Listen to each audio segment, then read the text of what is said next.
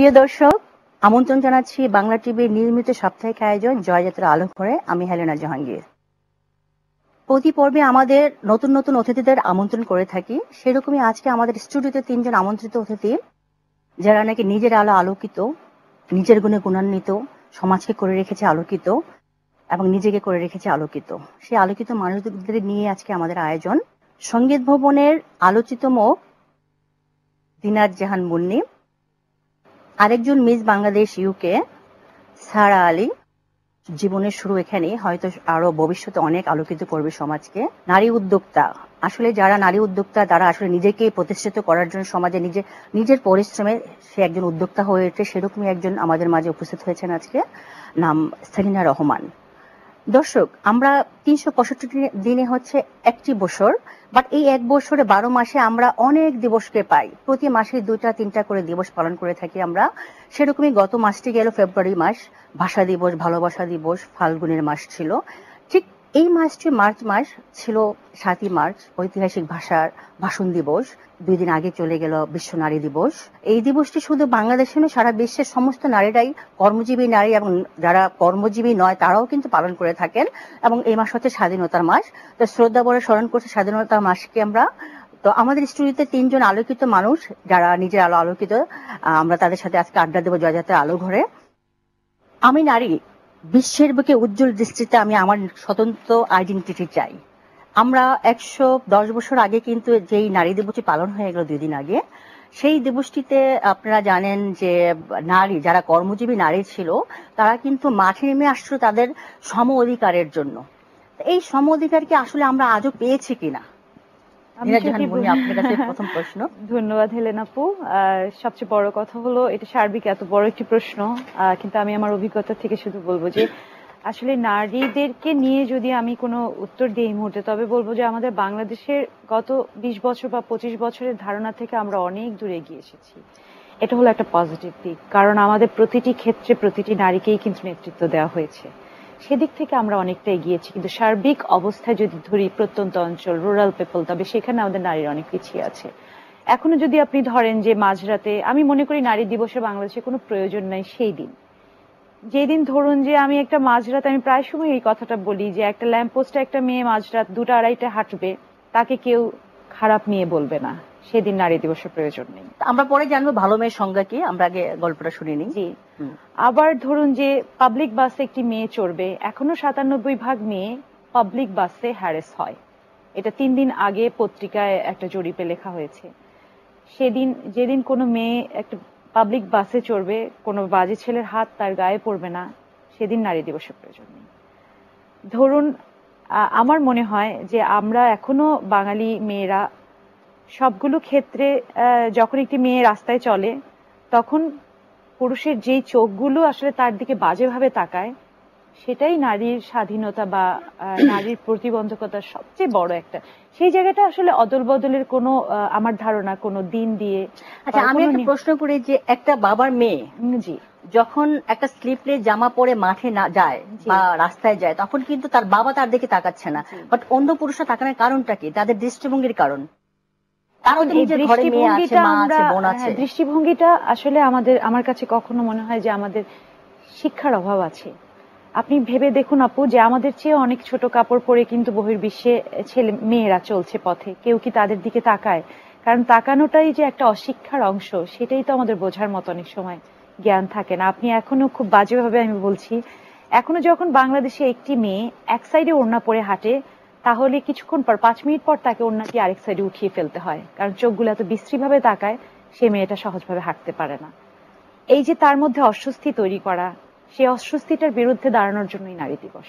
এবং আপনি গণপরিবহনের মধ্যে যে মেয়েরা উঠছে জি।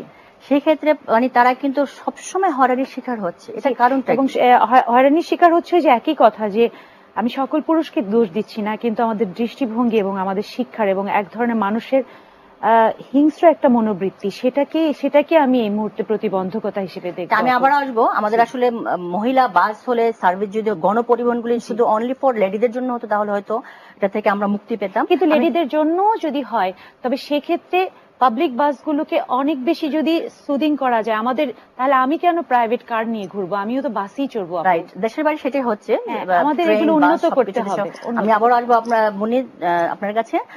সালিনা রহমান আপনি তো নিজেই নিজের উদ্যোগে একটা সুন্দর ব্যবসা প্রতিষ্ঠিত ব্যবসা গড়ে তুলেছেন।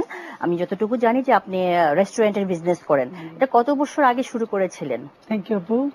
আমি এটা শুরু করেছি নাইনটিন এইটি নাইনে। ছোট্ট একটা জাস্ট চব্বিশটা সিট নিয়ে আহ, এটা শুরু করেছি। এখন হচ্ছে আমার এটা মানে তিনশোরও বেশি অ্যাট এ টাইম মানে আমি জায়গা দিতে পারি। এটা হচ্ছে আমার প্রথম শুরু করেছিলাম আমি খাই খাই নামে। তো তখনকার এসে খুব পপুলার ছিল এটা। তো কোথায় ছিল? এটা ছিল সায়েন্স ল্যাবরেটরিতে ধানমন্ডি পাঁচে। আচ্ছা। তারপরে আমি মাঝখানে আরেকটা করেছি লাঞ্চন ওটাও মোটামুটি ছিল ধানমন্ডি প্লাজায়। এরপরে আমি করেছি হচ্ছে গিয়া দুই হাজার সাতে, এটা হচ্ছে স্কাই শেফ নামে রূপটপ রেস্টুরেন্ট দেন এখন এটাকে আমি শিফট করেছি হচ্ছে কাদেরাবাদ এই ক্ষেত্রে কি আপনি যে নারী উদ্যোক্তা মানে উদ্যোক্তা যে নিয়েছিলেন সেক্ষেত্রে আপনার সহযোগিতার মানে কে ছিল? আপনার পাশে কে ছিল? এক্ষেত্রে আমি বলব আমাকে সবচেয়ে বেশি যে উৎসাহ দিয়েছেন সে হচ্ছে আমার শাশুড়ি। দি দেন ইস্ট নারী। পাকিস্তানের হ্যাঁ সে একজন নারী। দি দেন ইস্ট পাকিস্তানের প্রথম মহিলা মুসলমান গাইনোকোলজিস্ট ছিলেন সে ডাক্তার আলতাফুন্নেসা বেগম। মানে এডুকেটেড শাশুড়ি ছিল বলেই কিন্তু সে বউর সহযোগিতা মূল বিষয়টা হ্যাঁ। ওখানে হ্যাঁ, সে কিন্তু আমাকে সব সময় উৎসাহ দিয়েছে মা তুমি আচ্ছা। ঘরে বসে থেকো না। আমার কিন্তু মানে আমি তার কাছে গিয়েছিলাম খুব খুব ছোট থাকতে। সে আমাকে মেয়ের মতো করে পড়াশোনা করিয়েছে বাইরে চলা শিখিয়েছে। ইভেন তার সাথে আমাকে বিভিন্ন রকমের কাজ শিখিয়েছেন। অ্যাকচুয়ালি আমি আসলে মনে সফল নারীদের পিছনে এইসব কাহিনীগুলি থাকে যে আসলে সহযোগিতার হাত থাকে হ্যাঁ, নারী অবশ্যই, আমরা পুরুষদেরকে আসলে কখনোই আলাদা করতে পারি একটা না নারী কিন্তু একটা নারীকে হেল্প করছে। এখানে আমি কিন্তু মানে আরও বেশি একটা ইম্পর্টেন্ট বিষয়। দেখে আমি উৎসাহিত হতাম যে এত আগের এক মহিলা কীভাবে সে কাজ করে মানে সে একদম ডাইনামিক ছিলেন। যে এমন ভাবে কাজ করতে হয় এবং তাকে বেঁচে আছেন তো এখন? না উনি গত বছর কামনা করছি আমরা যে উনি একজন ভালো মানুষ ছিলেন হ্যাঁ আমার মানে আমার মানে আমার একটা মাথার ছাতা সে ছিলেন সে আমার গার্জিয়ান ছিলেন। আমি তাকে হারিয়ে মানে এখানে বলার ভাষা নাই যে আমি যে কি হারালাম। আপনার মনে হয় মন খারাপ হয়ে গেছে আমরা আবার আপনার সাথে গল্প করব। তার উৎসাহেই আমি এখনও চলি। আচ্ছা মিস বাংলাদেশ ইউকে সারা আলী। কাহিনীটা শুনতে চাচ্ছিলাম যে কি মনে করে তুমি লন্ডনে গেলা? কীভাবে তুমি মিস বাংলাদেশি হলা? অ্যাকচুয়ালি লন্ডনে আমার ফ্যামিলি থাকে। Half of my family my sisters they are settled over there তো আমার ওখানে যাওয়াটা অ্যাকচুয়ালি আমি সবসময় ছোটবেলা থেকেই মানে আমার অন অন অফ যাওয়া আসা তো হতোই। মানে যেহেতু ফ্যামিলি থাকছে, তো আমি ট্রাভেল করি অনেক। সো ওই সুবাদে যাওয়া হতো। আর আমি ওখানে মানে ফার্স্টে গিয়েছি, বেড়াতে বেড়াতে যাওয়ার পরে থাকা, যাওয়া আসা then finally I have decided ওখানে গিয়ে আমি ফ্যাশন ডিজাইনিং করব। তো এই, এইভাবে যাওয়া টু থাউজেন্ড টেনে আমার ফাইনালি ডিসিশন নেওয়া ওখানে থাকার। তো তখনই আর কি মিস বাংলাদেশ ইউকে আর মিস বাংলাদেশ এটা তো হচ্ছিলই। ইভেন মিস বাংলাদেশ যেটা, সেটা আমাদের দেশে নাইনটিন থেকে শুরু হয়েছে আই থিঙ্ক সেভেন আর এইট তো তখন থেকে আমাদের কয়েকজন যারা, আমি নাম জানি, সোনিয়া আপু, আমি চিনতাম, ওনাকে উনি হয়েছিলেন। তো আমার আমার খুব ইচ্ছা ছিল। ছোটবেলায় তখন আমি অনেক ছোট তখন আমি দেখতাম ওনাদেরকে আর আমার অনেক মানে ইচ্ছা হতো যে I'll be someday Miss Bangladesh R Miss World যেহেতু আমাদের দেশে মিস ওয়ার্ল্ড হওয়ার কোনো অপরচুনিটিস ছিল না যেহেতু মিস বাংলাদেশকে আর সামনে এগিয়ে নিয়ে যেত না যেটা এবার শুরু হয়েছে টু থাউজেন্ড সেভেন্টিনে সো ইন দ্যাট কেস আমি টু থাউজেন্ড টেনে মিস বাংলাদেশ ইউকে যেটা ওটাতে পার্টিসিপেট করলাম। অ্যান্ড দেন ওখানে আমি Miss Bangladesh UK I won the title in and then তারপরে আমি সেক্ষেত্রে কি তোমার নিজের আগ্রহী ছিল না তোমার পারিবারিক তার আগে আমি আরেকটা টাইটেল করেছিলাম ঢাকাতে সেটা ছিল। সেটা ছিল প্যান্টি নিউ লুক ওটারও উইনার আমি। তো তারপরে আমার আসলে মিডিয়াতে কিছু কিছু ভালো ভালো কাজ করা হয়েছিল। কাজ করতে করতে আমি আসলে ক্যারিয়ারের মাঝখানে আবার আমাকে পড়াশোনার জন্য যেহেতু আমার ফ্যামিলি চাচ্ছিল আমি পড়াশোনাটা শেষ করি then I can do anything I want but still তারা মিডিয়াতে এত সাপোর্ট দেয়নি আমাকে। আমি বলব আমার ফ্যামিলি বাবা মা বা ভাই বোন কেউ মিডিয়াতে নাই। আমার ফোরটিন জেনারেশনে কেউ তেমন একটা নাই। তো ওই ক্ষেত্রে আমি ওরকম সাপোর্টটা পাই নাই বাট আমার ইচ্ছা থেকেই মোস্টলি হয় হ্যাঁ আমার কনফিডেন্সটা কাজ করেছিল। আসলে আমাদের নারীদের করে আগ্রহ থাকতে হবে। হ্যাঁ, নিজেদের আসলে মন মানসিকতার ব্যাপার যে আমি কিছু করতে চাই। আমরা আবারও গল্পে আসব। প্রিয় দর্শক আমরা আড্ডায় ছিলাম জয়যাত্রা আলো ঘরে আবারও আড্ডায় ফিরে আসব নিচ্ছে একটা ছোট্ট বিরতি।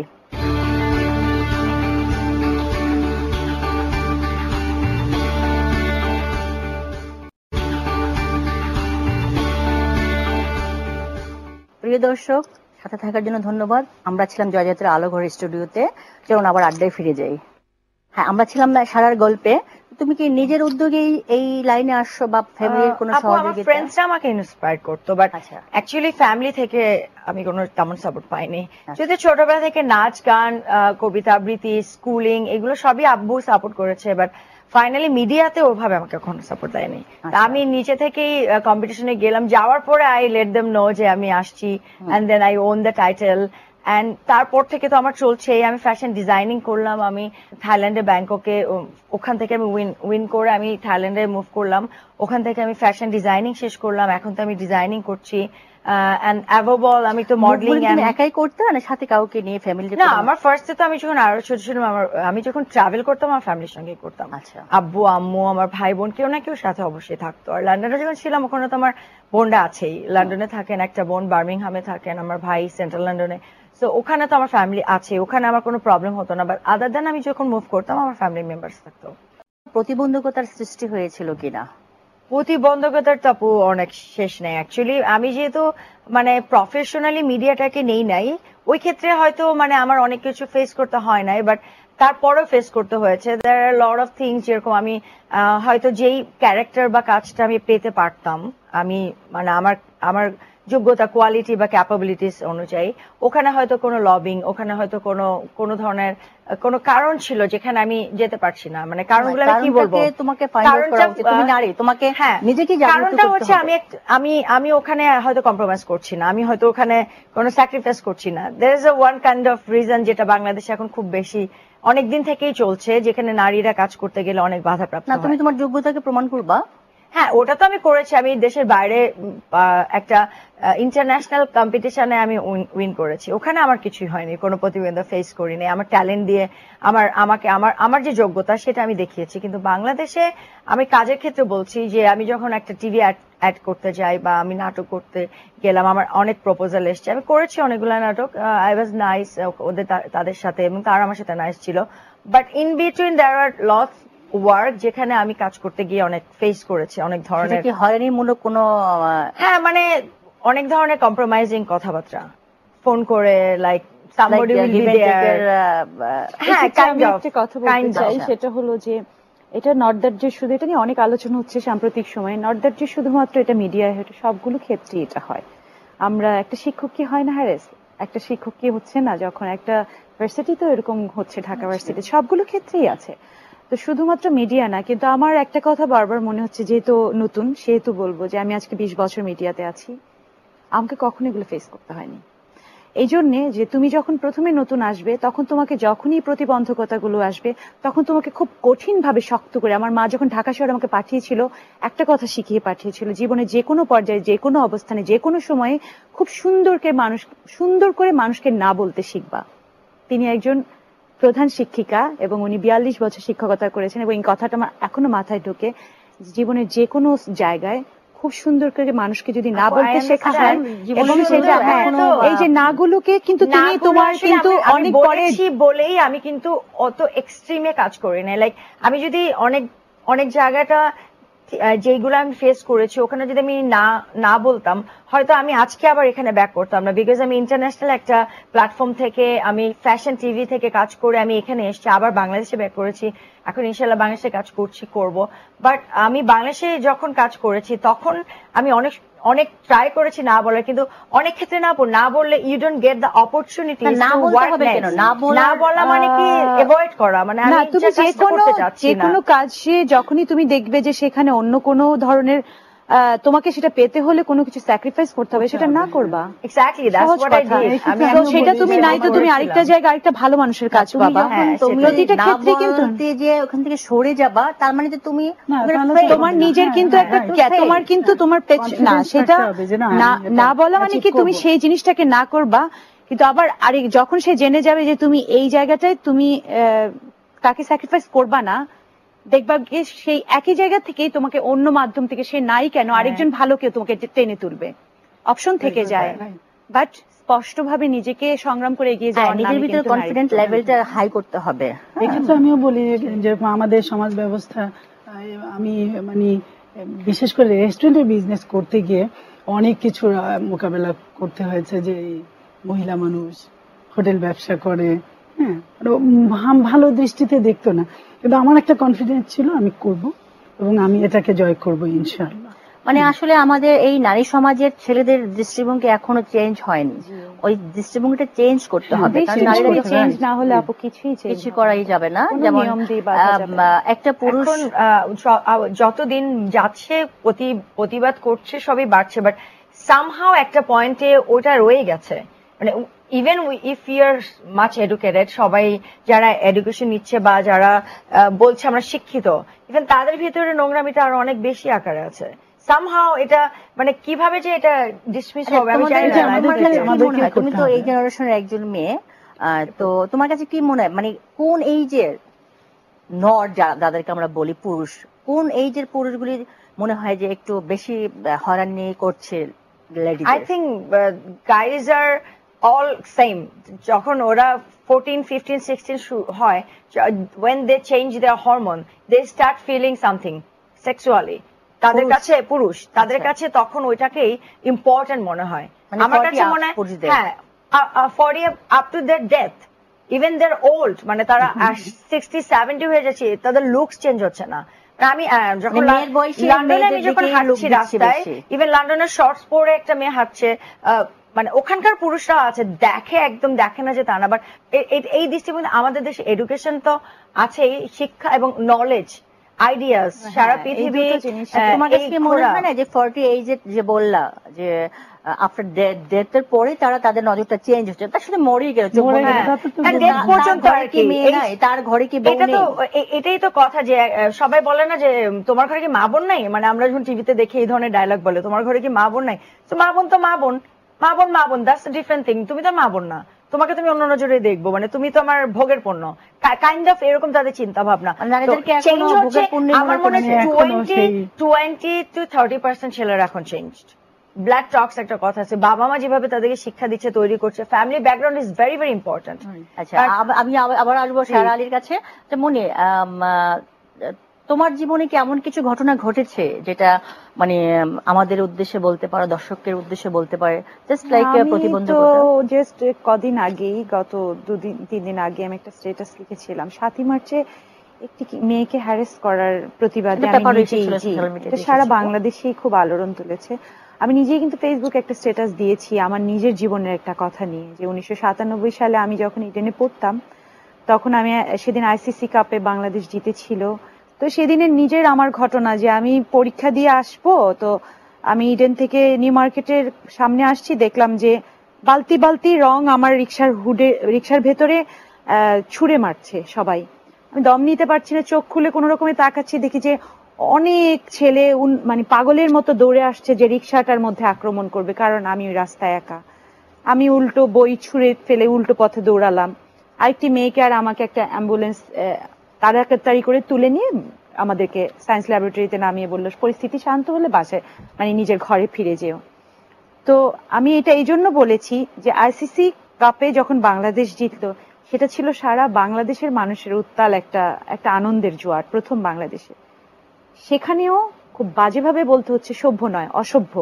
অসভ্য পুরুষরা সেদিন অনেক মেয়েকে হ্যারেস করেছে, আনন্দের নামে। সাতই মার্চও ছিল একটা ঐতিহাসিক দিন। প্রতিটি একটি বিশেষ দলকে কেন্দ্র করেই সেদিন অনেক আনন্দ মিছিল সারা বাংলাদেশে হয়। কিন্তু চিন্তা করে দেখুন, দলকে কি আমি এখানে দায়ী করব? আমার কাছে তো মনে হচ্ছে এটা আমার মানবিকতা, মানসিকতা এবং সভ্যতার একটা ক্রমবর্ধমান আমাদের অবনতি। যে এখানে আপনি কীভাবে বলবেন যে আইসিসি কাপে যেই ছেলেগুলো মেয়েদেরকে হ্যারেস করেছে সেম মানুষগুলোই তো এখানেও করল। এখানে আমি তো কোনো বিশেষ শ্রেণীকে বলতে পারি না। আমার কথা হলো যে মেয়েদেরকে দেখলেই যে একটা নিজেদের মধ্যে যে একটা আদিম একটা বিশ্রী একটা বিষয় উঠে আসে এটাকে যতদিন নিজেরা না দমাতে পারব ততদিন আসলে মেয়েরা এই দেশে কাছে মনে হয় যে এই জিনিসগুলি কি আসলে মানে শুধু বাংলাদেশেই ঘটে না কি দেশের বাইরেও দেশে দেশে দেশের বাইরে কেন? কলকাতাতেও আমরা প্রায়শই দেখি যে বাসে এবং ট্রেনে মেয়েদেরকে ধর্ষণ করা হচ্ছে। এশিয়ান কান্ট্রিতে বেশি। হচ্ছে। এশিয়ান কান্ট্রিতে এই জন্য বেশি হচ্ছে শাস্তির পরিমাণটা কম। জনসম্মুখে যদি জনসম্মুখে এবং এমনও হয়েছে আপু আমি একটা ছোট্ট উদাহরণ বলি আমি প্রচুর পড়ি এবং পড়ার কারণে জানি। মেয়েদেরকে পাবলিক বাসে হ্যারেস করা হয়। একটি মেয়ে যখন রাস্তা পার হচ্ছিল একটি মেয়ের গায়ে হাত দেওয়া হয়েছে করে- আমরা আবারও আসব এই গল্পে। গল্পে গল্পে বিরতির সময় আমি অভিজ্ঞতা থেকে হ্যাঁ, প্রিয় দর্শক ছিলেন আপনারা জয়যাত্রা আলো ঘরে আমাদের আড্ডায়। আহ, আবারও ফিরবো সাথেই থাকুন নিচ্ছে একটা ছোট্ট বিরতি।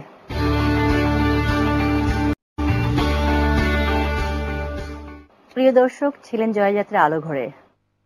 ফিরে এলাম বিরতি থেকে। মুন্নি ছিলাম আমরা যে আসলে মেয়েদের হয়রানির কথা যে আসলে এশিয়ান কান্ট্রিগুলিতে আমাদের ট্রেনে বাস দর্শন হচ্ছে আসলে এটার মুক্তির উপায় কি? আমরা কি শুধু নারীরাই শুধু এই নিজেদের নির্যাতিত হব?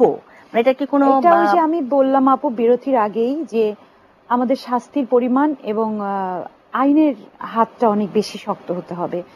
একটা মানে যারা প্রশাসনিক হ্যাঁ, হ্যাঁ ক্ষেত্রে মানুষগুলোকে এই ইস্যুতে অনেক বেশি স্ট্রং হতে হবে নো কথা। মানে মেয়েরা যেমন আপনি উন্নত দেশগুলিতে আবার মাঝে মাঝে সোশ্যাল মিডিয়া বা পেপার মিডিয়াতে আমরা দেখি যে প্রশাসনের লোকগুলি তো মেয়েদেরকে হয়রানি করছে। ওই বিষয়টা আমি না হয় না বলি আমি একটি ছোট ঘটনা বলি কিছুদিন আগে পড়লাম।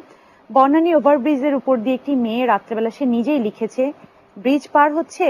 তখন কিছু ছেলে তাকে বাজে ভাবে গায়ে হাত দিয়েছে বা দিস অ্যান্ড দ্যাট এখন বলা হয় যে পেপার স্প্রে রাখবে ভ্যানিটি ব্যাগে মেয়েটা যখন পেপার স্প্রে দিল, তখন এবং তার ব্যাগ নিয়ে সরি আমি ভুল করেছি, তার ব্যাগ তার গায়ে হাত দিয়েছে এবং তার হাত থেকে টেনে ব্যাগ নিয়ে গেল। তখন মেয়েটি যখন পেপার স্প্রে দিল, তখন যেটা হলো যে বাঁচাও বাঁচাও বলার পর অনেকগুলো মানুষ একত্রিত হয়ে ব্যাগটি যখন মানে মেয়েটিকে যখন কাছে গেল, তখন যাকে চোখে মুখে মেরেছে, সে ছুঁড়ে মেরে, তখন সে বলল যে ও আমাকে চোখে মুখে আমাকে পেপার স্প্রে দিয়ে সে আমার কাছ থেকে এই মেয়েটা মানে ছিনতাইকারী। মেয়েটাকে করল। ব্লেম করল। পুলিশ এসে কিন্তু এবং সব মানুষ মিলে মেয়েটাকেই কিন্তু অনেক ধরনের রাতের বেলা যা হয় আর কি। হয়রানি শুধু না তার গায়েও টানা হয়েছে। একজন ছিনতাইকারীকে মানুষ যা করে মেয়েটাকে তাই করা হয়েছে। আচ্ছা। হ্যাঁ কিন্তু একজন পুলিশ এসে মেয়েটাকে কিন্তু আটক করে নিয়ে গেল। মানে মেয়েটি বলেছে- দোষটা ছিল পুরুষটিরই আচ্ছা। কিন্তু পেপার স্প্রে যে সে ইউজ করেছে তাকে বলা হয়েছে যে তুমি কেন। তুমি কেন মরিচ নিয়ে ঘুরছো তাহলে এটা তোমার দোষ বাট এই যে জিনিসগুলো যে একটা মেয়ে তার নিরাপত্তার জন্য পেপার স্প্রে রাখতে পারে পেপার স্প্রে কি সেটাই তো আমাদের অনেক আইনের অনেক লোক জানে না যে একটা মেয়ে প্রথম তাকে বাঁচিয়ে রাখার জন্য ফার্স্ট কথা হলো তাকে মানে পেপার স্প্রে রাখতে হবে। বাট পেপার স্প্রেটাই তো আমাদের আইনের লোকেরা program জানে বাড়ানো না। উচিত। মেয়েদের নারীদের নিয়ে দেশেরই তো অনেক মানুষ এখন অ্যাওয়ার না হ্যাঁ এই জন্য অ্যাওয়ারনেস প্রোগ্রাম করে করে আসলে নারীদেরকে আরও বেশি সচেতন করতে এবং পুলিশ যারা আইন শৃঙ্খলা রক্ষাকারী বাহিনী যারা আমি তাদেরকে বলব আমি তাদের আরেকটা ঘটনা মানে আমি আমার চোখে দেখা। আমি আমার বোন আমি লাস্ট ইয়ারে আমার বোন লন্ডন থেকে আসছে তো আমরা আসার পর ওনাকে আবার মানে এয়ারপোর্টে পৌঁছে দিতে গেলাম। তো আমি ড্রাইভ করে আসছি ব্যাক করছিলাম। আই ওয়াজ ড্রাইভিং তো আমি ব্যাক করার পরে আমি ফ্লাইওভারে দেখতে পাচ্ছি একটা পাগ- পাগল, পাগলি মনে হয়। মানে একদম থাকে না গরিব ফকির রাস্তায় ও কিছু খেতে পারে না। ও আছে সাডেনলি একটা মানে নেশাখোর যারা ডেন্ডি করে যে ফ্লাইওভার ও এসে ওকে জাম করছে ট্রাইং টু রেপ হার তা আমি যাচ্ছি, আমার সাথে আমার কাজিন ছিল, আমার বোন ছিল। তা আমার ভাই আর ওরা বলছে কি তুমি এখন নামো না। আমি বলছি আমি থামবো থেমে আমি ওকে বাঁচাবো। তো বলছে তুমি নেমো না। তুমি নামলে তোমার প্রবলেম হবে। উল্টা দেন আমি একটু আগালাম। আগানোর পরে আমার হঠাৎ করে মনে হলো no I can't see this মানে এটা ইম্পসিবল ওখানে রেপ করতেছে কোনো মানুষ নেই Oh এবং যেভাবে যাচ্ছে এটা আমি দেখতে পারব না।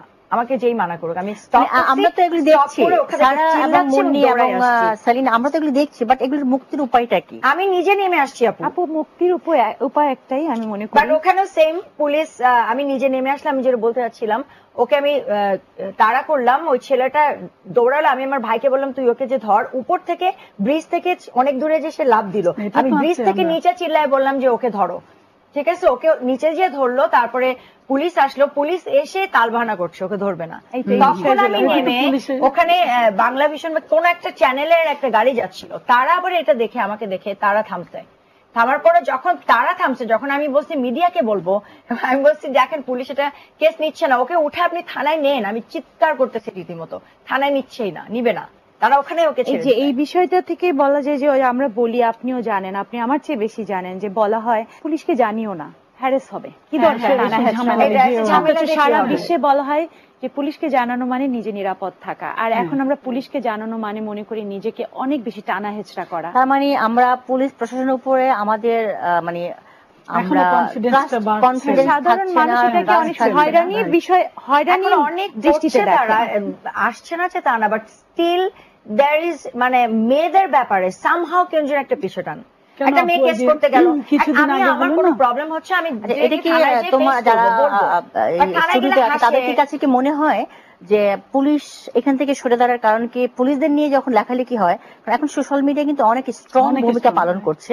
সেক্ষেত্রে পুলিশরাও কিন্তু এরকম ক্রাইমের মধ্যে জড়িত আছে। মাঝে মাঝে অনেকেই আছে। হ্যাঁ পেপার মিডিয়া বা ইলেকট্রনিক্স মিডিয়া বা সোশ্যাল মিডিয়াতে লেখালেখি হচ্ছে। সেই কারণে কি পুলিশ এদিকে আগাচ্ছে না? নো আপু ইটস নট লাইক দ্যাট এটা সবসময় ছিল। আচ্ছা। Police whenever you go মানে আমি আপু সেম থিং যে বাইরে আমরা যখন যাচ্ছি লাইক আমার ব্যাংককে আমি যখন ছিলাম তখন আমি আর আব্বু শপিং করছি তো আব্বু আমার একটা ব্যাগ ছিল সাইডে ওখানে দুই হাজার ডলার আব্বু বলছিল আমার কাছে তো আমি দেইনি আমি রাখছি। আমি আর আব্বু সব কাপড় সাপড় কেনাকাটা করে পেমেন্ট করতে গেছি নাই। আব্বু জানে না আমিও বুঝতে পারছি না। তারা একসাথে গ্রুপিং করে এসে চেপে ধরে এটা একটা ওদের টেকনিক ওরা এইভাবে করে একটা ইয়ে নিল কোথায় ছিল নিল। এটা? সুকুম্বিতে ব্যাংককে আচ্ছা। তো আমি তখন আমি জানতাম না যে এরকম ধরনের চিন্তা হয়। ফিলিপিন থেকে ওরা আসে একটা গ্রুপ আছে। ওরা এসে মানে ছেলে মেয়ে একসাথে চিন্তা করে। ওখানে গ্যাদারিং করে গ্যাদারিং করে হ্যাঁ করে আব্বু তো আমাদেরকে তাকায় আছে আমিও তাকায় tourist কি করব? দেন আমি বলছি যে আব্বু চলো পুলিশের কাছে যাই। মানে মানে আমাদের দেশের পুলিশ হলে মানে আমি আমরা যদি যেতাম তখন ফার্স্টে জিজ্ঞেস করল আপনার কোথা থেকে আসছেন? কি না কি? হ্যান ত্যান অনেক কাহিনী। বাট আমি যখন মানে ওখানে পুলিশের কাছে হেল্প তো ওরাও খারাপ পুলিশ ওরা ঘুষ খায়। কিন্তু ওরা একটা জিনিস আছে ওরা হেল্প করে। ওরা মানে কথা শুনে। মানে আমি যে একটা মেয়ে আমি যে একটা যে নালিশ করব বা তাদেরকে ডাকবো তারা আমাকে হেল্প করবে। মানে ওদের মধ্যে এই জিনিস আছে। কিন্তু তাই তো আমাদের হতে বাংলাদেশের পুলিশের কাছে হেল্পের জন্য হাত না আপু টুরিস্টের জন্য না। ওরা এমনি ওরা ওরাও যে মানে এটাকে কি বলে ঘুষ খায় না বা আমাদের যেরকম কথা যে পুলিশ অনেক ইয়ে করে বা হ্যাঁ, ওইটা ওইটা করে কিন্তু ওরা কিন্তু আবার আদার কান্ট্রি যেমন আমেরিকাতে কিন্তু পুলিশরা গাছের নিচে বা বিভিন্ন মানে যেখান থেকে দেখা যাবে না মানে সাধারণ দেখবে না হ্যাঁ, সেখানে হ্যাঁ, লুকিয়ে থাকে, থাকে লুকিয়ে থাকে। এই সিস্টেমটা কিন্তু বাংলাদেশে করলে আমার মনে হয় যে হ্যাঁ। সচেতন আমাদের হতো এখানে লোকজন। পুরো, আম, আম, আরেকটি বিষয়- এখানে আছে কিন্তু আপু পুলিশের কাছে আপনি যাও মানে একটা মেয়ে হিসাবে আপনি যখন যাচ্ছেন থানায় বা আমি আমার এক্সপেরিয়েন্স থেকে বলছি যে আমার বাসায় চুরি হলো আমার কাজের ছেলে চুরি করে আমার ল্যাপটপ ব্লুটুথ ব্লুটুথ এগুলো নিয়ে গেছে। তো আমি থানায় গেলাম আমার ফ্যামিলি পরিচয় আছে আমিও পুলিশ ফ্যামিলি পুলিশের আমার আত্মীয় আছে আমার ভাই ব্রাদার বাট থিং ইজ যারা চিনে না তারা তো জানছে না আমি কে। তো এই থানায় যাওয়ার পরে পুলিশদের একটা হাসি তাকানো মানে আমার তো মেজাজ খারাপ হয়ে হচ্ছে তুমি মানে- জেনারেশন ইয়াং এই জন্য হয়তো তাকাচ্ছে। আসলে মানে লিটারালি তারা মানে কোনো কেস নিতে গেলে খুব ঢং করছে মানে only- স্ট্রেট ফরওয়ার্ড যে একটা মানে আপনি একটা মানুষ। ফার্স্টে বিফোর আসলে আমরা যে নারী তা না, মানুষ মানুষকে মূল্যায়ন করা কিন্তু আপু দেখেন আরেকটি বিষয় হলো আপনি যে যারা আসলে মানুষ হিসেবে যাচ্ছেন ওটা তারা দেখছে না। নারী হিসেবে আগে দেখছে। এখন আমরা ওভারঅল আসলে যদি বলি যে আবার যে এটা হচ্ছে তাও ভুল। বর্তমানে আবার একটু বদলেছে। আমাদের হ্যাঁ। পুলিশ বাহিনীর কিন্তু আবার অনেক অনেক ভালো ওদের অনেক কাজও করছে তারা। আমি তো মনে করি যে সারা ওয়ার্ল্ডে তারা আমাদের ক্রাইমের দিক থেকে যেটা আমাদের অনেকগুলো বড় বড় ঘটনা সেখান থেকেও কিন্তু পুলিশ বাহিনী যে কাজ করেছে হ্যাঁ, সেটা বিশ্বের কাছে দৃষ্টান্ত। কিন্তু কিন্তু যেটা হয় যে আমাদের দৃষ্টিভঙ্গিটা পুরোনো পুরোনো হ্যাঁ। তো এই যে এই মেয়েটি থানায় গিয়েছে। এই যে হ্যাঁ। দৃষ্টিভঙ্গির মানে, পরিবর্তন থানায় গেলে মেয়েটি খারাপ হয়ে গেল। কিন্তু হ্যাঁ, আগে ছিল মেয়ে বলে। আচ্ছা। একটা মেয়ে দেখুন আমরা যখন মাস্টার মেয়েকে কি আমরা মানে আমরা মানুষ ভাবতে পারি না? আচ্ছা আমরা আসব আবারও এই কথার মধ্যে। আসলে গল্পে গল্পে বিরতির আমাদের আসলে আড্ডা অনেক মজার হচ্ছিল মজার ভাবে আমরা আড্ডা মারছিলাম। তো ছোট্ট বিরতির পর আবার আসছি। প্রিয় দর্শক আহ, সাথে ছিলেন জয়যাত্রা আলো ঘরে আবারও আসব বিরতির পর। দিচ্ছি একটা ছোট্ট বিরতি। দর্শক সাথে থাকার জন্য ধন্যবাদ। ছিলেন জয়যাত্রা আলো ঘরে হ্যাঁ মনে আমরা ছিলাম আড্ডায় যে আসলে আমরা পুরুষ অথবা নারী যারাই হই না আমরা তো মানুষ আসলে আমরা মানব জাতি। তা এই দৃষ্টিভঙ্গিটা কি হতে পারে না পুরুষদের যে আমরা সকলেই মানুষ আসলে নারী তো নারী না নারীও তো মানুষ? অবশ্যই। হ্যাঁ এটাই ছোটবেলা থেকে এখন কিছুটা কিছুটা পরিবর্তন হচ্ছে। হচ্ছে আমাদের মানুষ কিছুটা সচেতন হচ্ছে। তবে আমাদের দেশ থেকে আপনি দেখেন ওই যে কিছুদিন আগে এইটা মানে সবাই জানে যে এক পাগল মহিলা সেও মানে আমাদের এই সমাজের পুরুষদের কাছ থেকে রেহাই পায় না শুধু যে হ্যাঁ, সুন্দরী হলে বা মানে ইয়ে হলে যে হ্যারাসমেন্ট হচ্ছে তা কিন্তু না। হিজাব পরে মেয়েরও র্যাপ হচ্ছে হ্যাঁ, হ্যাঁ। একটা প্রতিবন্ধী মেয়েও র্যাপ হচ্ছে তার মানে একটা মেয়ে ছিল তো হিজাব ওর কি দোষ ছিল হ্যাঁ কোনো কোনো সে অনেকে বলে হ্যাঁ, পর্দা করেন, পর্দা করেন। আসলে কি কি ইয়ে হচ্ছে কিনা?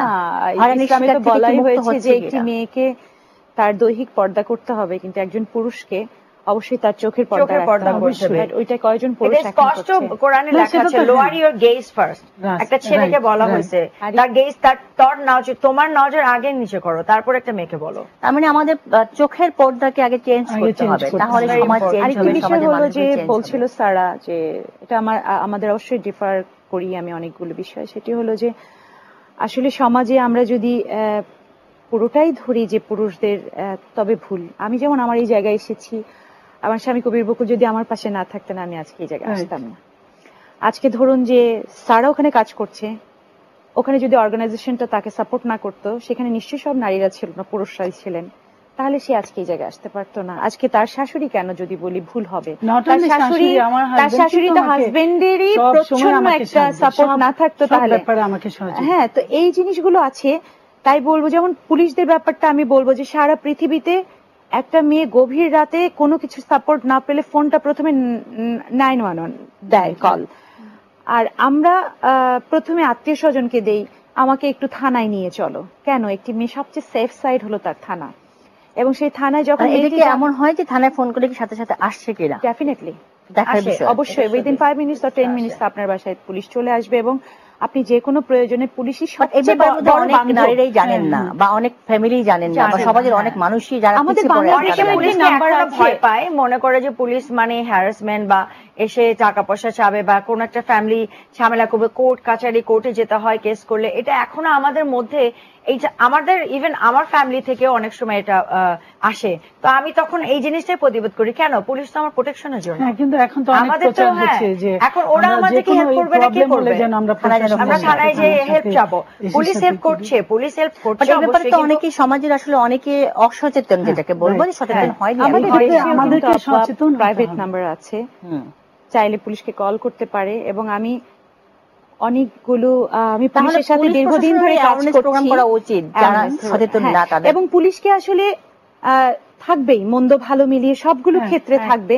কিন্তু পুলিশকে আতঙ্কের জায়গা না ভেবে পুলিশকে বন্ধু হিসেবে পুলিশের সেই জায়গাটায় আমাদের আইন পুলিশ বললে ভুল হবে। আইন শৃঙ্খলা রক্ষাকারী বাহিনীর প্রতিটি সদস্যকে মানুষের মাঝে তাদের একটা সহজ উপস্থিতির একটা পরিবেশ তৈরি করতে হবে যেটাতে মানুষ তাদেরকে আসলে আতঙ্কের জায়গা থেকে বন্ধু ভাবতে শিখবে যে আমার সবচেয়ে বড় স্থায়িত্বের জায়গা হলো আইন শৃঙ্খলা রক্ষাকারী প্রশাসন। হ্যাঁ। এই জায়গাটা তৈরি করার জন্য আমার মনে হয় যত না বেশি চাকরি বা যত না বেশি আইন দিয়ে আপনি বোঝাতে পারবেন তার চেয়ে বেশি গ্রুমিং দিয়ে বোঝাতে পারবেন। তাই যারা ঊর্ধ্বতন যারা রয়েছেন এই সেক্টরগুলোতে তাদের কাছে আমরা একজন সাধারণ নাগরিক হিসেবে বলতে পারি যে আমরা বিশ্বের নানা উন্নত দেশগুলোতে গিয়ে আমরা যদি একটু দেখি যে আসলে তাদেরকে গ্রুমিং করে ভালো মানুষ, ভালো প্রশাসনিক একজন কর্মকর্তা বা কর্মচারী তারা বানান কি করে, তাহলে সেই রোলসগুলো যদি আমরা অ্যাপ্লাই করতে পারি ডেফিনেটলি আমার পুলিশ ভাইরা কাজ করছে আমার বাংলাদেশের জন্য, না হলে আমি কি করে জঙ্গি হামলা থেকে এখন মুক্ত?